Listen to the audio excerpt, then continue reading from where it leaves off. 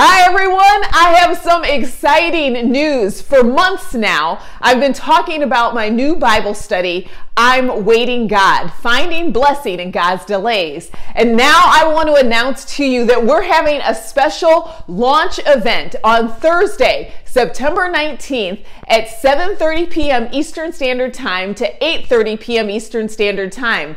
This launch event will happen at a physical location in my community at Cedar Creek Church, but we will also be launching live online for all of my friends across the country and around the world who have participated in my Bible studies. In this launch event, we're going to be looking at how you and I can get rid of feeling impatient and getting stressed out by waiting, and how we can walk in faith and peace and hope and joy. So I hope that you'll save the date, mark your calendar to join us for the launch event. More details you can find out by clicking the link. We're going to have fun, prizes, lots of opportunities to learn how to be more patient as well as prayer. See you on September 19th, friends.